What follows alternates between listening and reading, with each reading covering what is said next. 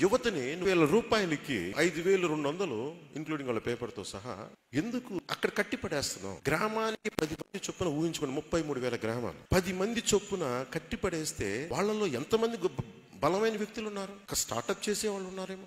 ఒక బలంగా ఒక వ్యవస్థని ఒక ఒక సైంటిస్ట్ కాగలవాడు అక్కడ ఆగిపోయాడేమో. పది మందికి ఉపాధి కల్పించి ఒక వ్యాపారస్తుడు ఉన్నాడేమో. ఒక చిన్నపాటి ఆటోమొబైల్ ఇంజనీర్ ఉన్నాడో మనకు తెలియదు so you are not tapping hidden potential potentiality of youth మీరు ట్యాప్ చేయట్లా. మీరు మాకు ఊడికం చేయండి ఐదు వేలకి ఊడికం డిగ్రీ చదువుకుని ఐదు వేలు. ఆలోచించండి. ఐదు వేల రూపాయలు డిగ్రీ చదువుకోండి. ఎంత? పర్ డే నేను అందుకు నేను అంటాను నువ్వు యువతని అలా కట్టిపడేయకు. లంచాలు లేని పరిపాలన దిశగా అడుగులు వేస్తూ ప్రతి గ్రామంలోనూ ప్రతి యాభై ఇళ్ళకు ఒక గ్రామ వాలంటీర్ను నియమిస్తా ఉన్నాము అని చెప్పి మీ అందరికీ కూడా చెప్తా ఉన్నాము. గ్రామాలలో చదువుకున్న పిల్లలు ఆ పిల్లలకు ఐదు వేల రూపాయలు జీతం ఇస్తూ ఆ గ్రామ వాలంటీర్లుగా తీసుకోబడతారు అని చెప్పి నేను ఇవాళ చెప్తా ఉన్నాను. ప్రతి గ్రామ వాలంటీర్ కూడా ఐదు వేల రూపాయలు జీతం ఇస్తూ వాళ్ళందరికీ కూడా సేవా దృక్పథం ఉన్న పిల్లలందరికీ కూడా వాళ్ళకు మెరుగైన ఉద్యోగాలు వేరే చోట ఎక్కడైనా వచ్చేంత వరకు కూడా గ్రామ వాలంటీర్లుగా వాళ్ళు పనిచేసే కార్యక్రమం శ్రీకారం చుడతా ఉన్నాము